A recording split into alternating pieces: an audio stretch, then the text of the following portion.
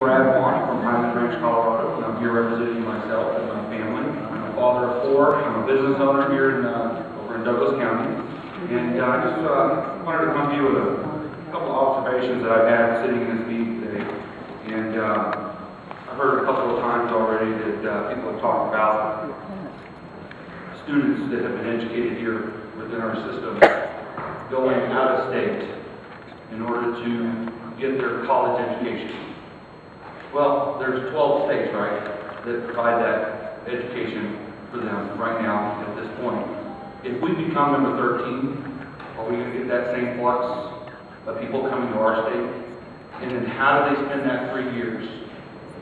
Are they going to be here before their, after their freshman year? How does that work out? And how does that um, pan out for our state? Having them flood here because now they're going to be able to get that college education here and not have that extra ten or twenty thousand dollars in out-of-state tuition.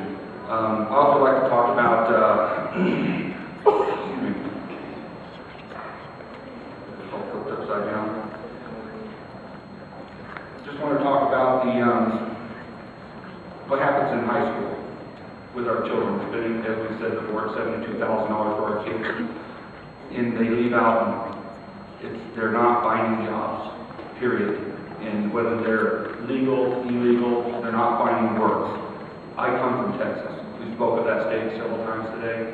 When I left the state of Texas, I was required to have two skilled trades.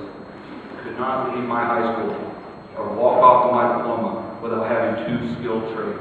Right now in Douglas County, pottery and jewelry. I left with welding and meat processing. I was able to put back in my community and put back into the people who supported me during my time of education.